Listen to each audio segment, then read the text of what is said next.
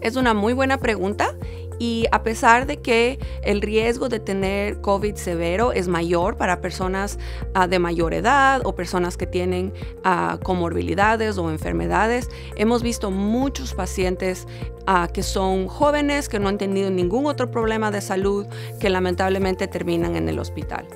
Es por eso que es importante, no importa la edad, que todos nos vacunemos, porque es muy difícil predecir quién va a tener COVID leve y quién va a tener COVID severo. Otra cosa importante es que uh, no importa la edad, el hecho de que nos vacunemos del COVID nos protege no solamente a nosotros de tener uh, COVID severo, pero también va a contribuir a que nuestras familias y nuestras comunidades estén protegidas.